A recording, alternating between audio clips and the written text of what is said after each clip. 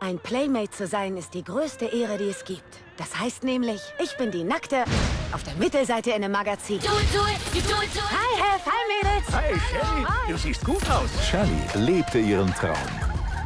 Bis sie tat, was kein Bunny jemals tun darf. Sie wurde alt. Aber ich bin 27. In Bunnyjahren sind das aber 59. Was ist, Baby? Traurig? Ein trauriges Äffchen? Wenn Sie jetzt bitte so freundlich wären, hier zu blasen. Also gut, na dann. Ich habe nur gemacht, was er gesagt hat. Ist die blöd. Das sieht ja aus wie die Playboy-Villa in Mini. Nun Das soll eine Uni sein? Zeigt dieses Bunny diesen Mädchen Alle halten uns für totale Loser. Ich bin ein Bunny. Wir schreiben Männer aus dem Knast. die Tricks, die es wirklich bringen. Ich will euch Mädels helfen, weil ich weiß, dass ich das kann. Shelly, wo ist dein Morgenmantel? Heute möchte ich nichts tragen, außer dem Körper, den Gott und Dr. Borgman mir geschenkt haben. Das hier ist Harmony. Harmony. Was soll das? Das ist nur so ein Tick, damit ich mir besser Namen merken kann. Natalie. Der Exorzist soll uns helfen.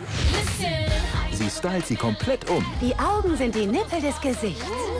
Und stellt ihre ganze Welt Ihr werdet die schärfsten Bräute auf dem ganzen Campus. auf den Kopf. Geht's dir gut? Keine Angst, mir wird mit der Brille nicht schwindlig.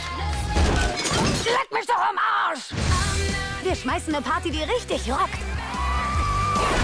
Manchmal ist Freunden zu helfen Zusammen kriegen wir alles hin. der beste Weg, sich selber zu helfen.